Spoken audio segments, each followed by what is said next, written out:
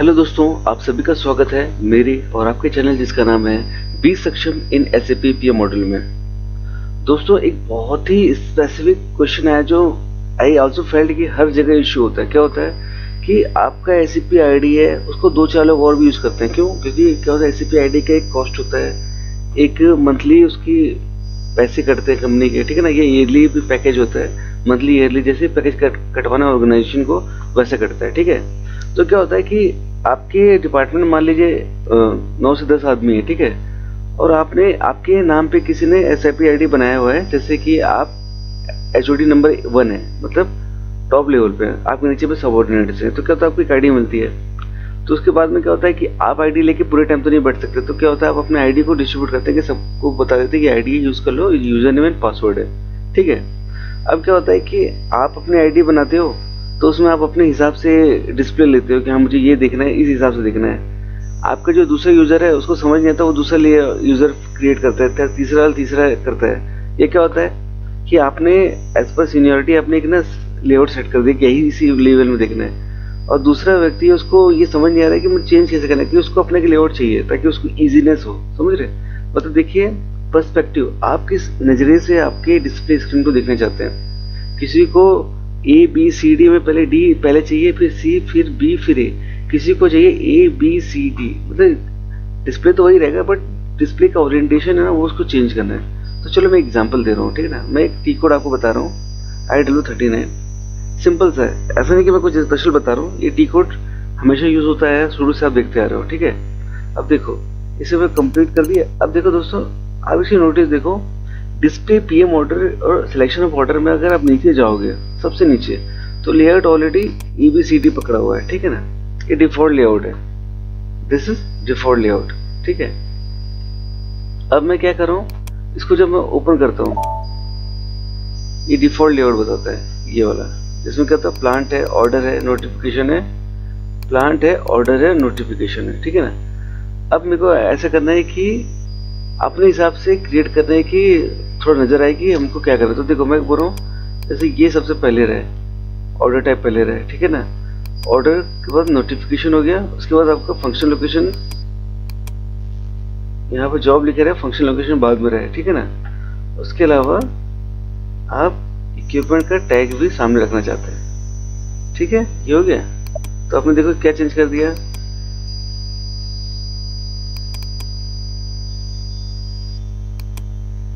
Order type planning मतलब आपने क्या कर दिया? फिर से बता रहा हूँ। जैसे ये है, इसको लेफ़्ट वाले कर्सर से पकड़ के आप इधर या इधर कर सकते हो, ठीक है ना? तो मैं क्या कर रहा हूँ, आपको ज़रूर पता होना चाहिए। आपके माउस के लेफ़्ट कर्सर को कंटिन्यू दबाओ। ये सिलेक्ट कर दिया, एक कर्सर दबा दो। तो ये आपको देखो, यहाँ पर नीचे में एक स्क्रीन आ रही है देखो, ये देखो रेक्टेंगल टाइप कर रहा है। तो आप इसको यहाँ ले जाओ, या यहाँ ले जाओ। आपको कर्सर को दबा के ही शिफ्ट कर सकते हो राइट ये हो गया। ठीक है ना? अब ये क्या हो गया? ये आपका स्पेसिफिक आपका ना, मुझे इस तरीके से दिख रहा है कि पहले टाइप आए, फिर प्लांट आए ऑर्डर टाइप आए, फिर प्लांट आए, फिर ऑर्डर आए, फिर नोटिफिकेशन आए। ये आपका डिस्प्ले सेटिंग है, ठीक है ना? तो यहाँ जाओगे सेव करोगे। ठीक है? तो यहाँ पे क्या हो जाएगा? यूज़र स्पेसिफिक डिफ़ॉल्ट सेटिंग है ना? तो ये आपका यूज़र स्पेसिफिक हो गया। इसी हिसाब से आप देखोगे। वो रहेगी स्लैश नहीं होना चाहिए, ठीक है? यस अब अब देखो। बैक गया। पहले ऑर्डर टाइप आ रहा था ना दोस्तों, देखो एबीसीडी तो क्या बताएगा? पहले ऑर्डर टाइप आएगा प्लांट आएगा ऑर्डर आएगा। अब आपको चाहिए, नहीं, मुझे ऐसा नहीं चाहिए, मुझे सबसे पहले इक्विपमेंट चाहिए। ठीक है? अब ऐसे ही आना चाहिए, इसकी इक्विपमेंट पहले आना चाहिए, बाद में टाइप आना चाहिए। तो मैं क्या करूँगा? यहाँ जाऊँगा। यहाँ पे जाऊँगा सेव में। और यहाँ पे क्या जाऊँगा? डिफ़ॉल्ट सेटिंग ठीक है डिफ़ॉल्ट रहेगा। और डिफ़ॉल्ट रहने के लिए इसमें आगे में क्या लगना चाहिए? स्लैश लगना चाहिए। ठीक है ना? बोल ना स्लैश चाहिए। ए बी सी डी तो क्या हो जाएगा? चलो ए बी सी डी नहीं लेता क्योंकि ऑलरेडी आपको already A B C D दिखाया था। तो मैं आपको दिखा देता हूँ, कुछ स्पेशल नाम बना देता हूँ। जैसे, चलो लिख देता हूँ S K S S H A M ठीक है? स्लैश ठीक है ना? एस ए के एस एच ए एम ठीक है? ये डिफ़ॉल्ट सेटिंग बना दोस्तों स्लैश डालना ज़रूरी है सेव लेआउट में। सेव कर दिया? सेव बैक गया। अब जाओ आई डब्ल्यू थर्टी नाइन नीचे जाइए। तो आपको क्या हुआ? स्लैश करके आपका स्पेसिफिक लेआउट है। अब आप कोई भी कोई भी आएगा कोई भी डेटा खुलेगा ऑटोमेटिक इसी लेआउट में खुलेगा।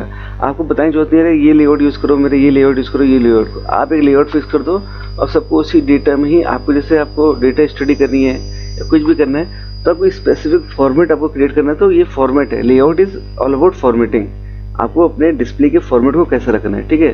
तो इसलिए क्या किया, आपने सिंपली क्या किया है, आपने लेआउट में आपने इसको as a default layout set कर दिया है, ठीक है ना? ये जितने, बहुत सारे लेआउट्स हैं यहाँ पर। अशोक एबीसीडी अभिजीत, सचिंद्र, सक्षम एबीसीडी बहुत सारे हैं। तो अपने क्या करना है, अपना स्पेसिफिक लेआउट अपने क्रिएट कर दिया, जो परमानेंट रहेगा डिफ़ॉल्ट लेआउट कोई भी आएगा तो आपकी आईडी खुलेगा तो इसी लेआउट पे ही उसको मिलेगा। ठीक है? अब देखो दोस्तों, सबसे इंपॉर्टेंट चीज़ ये है। ये क्या है? टी कोड क्या था आई डब्ल्यू थर्टी नाइन जिसमें डिस्प्ले पीएम ऑर्डर है। अगर सेम मैं बोलूँ आई डब्ल्यू ट्वेंटी नाइन ठीक है? तो आई डब्ल्यू ट्वेंटी नाइन में देखो आप एग्ज़ाम्पल देख रहे हो? यहाँ पे एक मैकेनिकल करके एक ना लेआउट क्रिएट किया हुआ स्लैश लगा के। ये क्या डिफ़ॉल्ट लेआउट है यहाँ का। समझ रहे हो? पॉइंट समझ रहे हो? अब क्या अगर आपको समझना है कि आपको नोटिफिकेशन भी है ना ऐसा चाहिए कि सबको एक जैसा दिखे।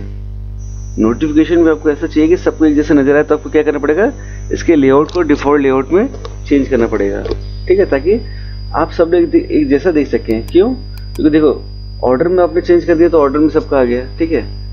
ये ये वाला ऑर्डर है ना? ये मैं मान लो मैं दूसरे वापस मैं चेंज कर देता हूँ। वापस लेआउट बना देता हूँ। ये लो अशोक बना दिया। यस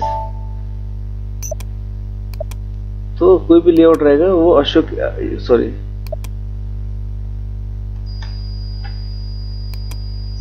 ओके अभी चेंज नहीं हुआ है। क्योंकि मैंने लेआउट में कुछ पर्टिकुलर चेंज नहीं लाया तो मैं यहाँ पर ये ले लेता हूँ, ठीक है? बाद में इसको सेव कर लेता हूँ। दिस इज़ सेव अब बाद में मैं बोल देता हूँ, ये लेआउट को ए बी सी डी यहाँ भी लिख देता हूँ ए बी सी डी ये डिफ़ॉल्ट सेटिंग है। तो भैया, कोई भी आएगा तो मुझे सेटिंग को इसी नाम पे दिखेगा, ठीक है? आपने कुछ चेंज किया तभी लेआउट चेंज होगा। अगर उसी चीन एंड पे रहा तो लेआउट चेंज नहीं होता, ठीक है दोस्तों? यहाँ पे एबीसीडी हो गया। सिंपल सा फंडा है। आपको डिस्प्ले की ओरिएंटेशन चेंज करोगे तो भी लेआउट कंसिडर करेगा कि आप नहीं कुछ चेंज किया अब मान लीजिए नया टी कोड मैंने जैसे एग्ज़ाम्पल दे रहा था ना I W twenty nine example जैसे दे रहा था। अब आप देखो, जो भी यूज़र खोलेगा, अपने कहीं किसी भी कहीं भी बैठा आईडी से, अगर आप क्लाइंट नंबर आपके ऑर्गेनाइजेशन का ये पे आईडी है तो हर जगह पर लेआउट का ये मैकेनिकल दिखेगा, ठीक है? क्योंकि किसी ने इसको एज अ डिफ़ॉल्ट लेआउट बना के रखा है। तो इसको भी क्या करते हो? आप पूरे अपने ऑर्गेनाइजेशन में क्या लेआउट के डिफ़ॉल्ट बना जाते हो कि भैया, हर कोई इसी एंगल पे काम करे। आपका ओरिएंटेशन पहले प्लांट है, फिर ऑर्डर नंबर है, फिर नोटिफिकेशन है, फिर फंक्शनल लोकेशन है, फिर डिस्प्ले है। तो उसके लिए क्या है? आपको यहाँ पर भी डिस्प्ले में एज अ डिफ़ॉल्ट करना पड़ेगा। मैं आपको एग्ज़ाम्पल इसलिए दे रहा हूँ मैं इसको चेंज इसलिए नहीं कर रहा हूँ, क्योंकि मैंने आपको फ़र्स्ट एग्ज़ाम्पल से बता दिया कि डिफ़ॉल्ट सेटिंग कैसे करते हैं। दूसरे में भी सेम इसी मैनर में करना है। तीसरे में भी इसी तरीके करना है। मतलब क्या कह रहे हैं? हर एक टी कोड जो होता है, वो आपको एक डिस्प्ले करवाता है। जैसे मैं बोला ना, जैसे ये एम बी फाइव बी हर एक हर एक लेआउट है ना, एक लेआउट बना हुआ है। देखिए, ये लेआउट बना हुआ है। लिखा हुआ ना वर्डिंग लेआउट लेआउट करके। तो हर एक टी कोड का एक पर्टिकुलर डिस्प्ले का ओरिएंटेशन है। तो उसकी डिस्प्ले ओरिएंटेशन को डिफ़ॉल्ट सेटिंग करने के लिए आपको चेंज करना पड़ेगा। उसको हर हर तरफ़ आपको सेम तरीके से दिखाई देगा। ठीक है ना? कोई भी यूज़र खोले, आपको लेआउट सेम नज़र आएगा। तो होप से दोस्तों स्लैश लगा के ए बी सी डी लिख के या स्लैश लगा के कोई भी नाम लिख के आपने लेआउट को डिफ़ॉल्ट सेटिंग में लेके उसको डिफ़ॉल्ट लेआउट बना सकते हो। जिससे कोई भी स्क्रीन खुलेगा तो कंटिन्यूस को वही नज़र आएगा।